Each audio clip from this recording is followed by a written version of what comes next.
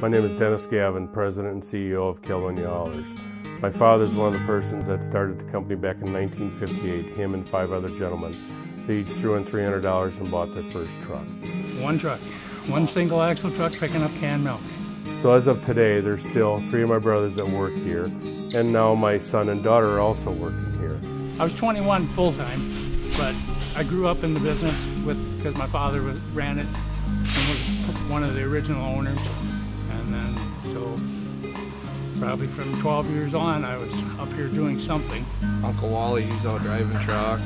Uncle Ole, he's out managing all the milk trucks. And Uncle Buck's taking care of all the tires. And Ashley's answering phones down there and whatever else she does. And Dad's up there doing what he's got to do, all that paperwork, I guess. It's nice to see brothers and nephews, nieces uh, working here. Uh, hopefully Zach and Ashley will keep it going. when Dennis decides to retire, yeah, it means a lot. Uh, you know, if, if we wanted to spend time with Dad, that's how we did it. We came up here and we worked, and I enjoyed it because I learned so much.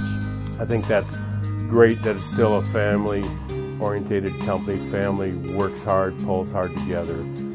Great work ethic uh, to make this company keep growing and go forward.